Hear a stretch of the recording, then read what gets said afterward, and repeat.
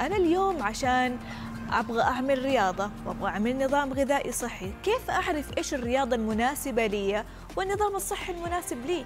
آه لما نتكلم عن الرياضة والتغذية آه نحتاج أول شيء أنه فقط نفكر في الأشياء اللي نستمتع فيها. يعني حلو. لما نتكلم عن الرياضة الواحد يفضل أنه يسوي شيء يستمتع فيه ولو ما كان في شيء محدد يستمتع فيه ممكن أنه يجبر نفسه على شيء معين أو روتين معين بحيث أنه يستفيد من ناحية آه، صحية على الأقل.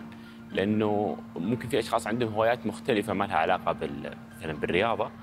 فممكن لما يتمرن أو يجبر نفسه على عدد أيام تمرين معينة في الأسبوع بحيث أنه يضمن أنه يكون في حالة صحية أفضل.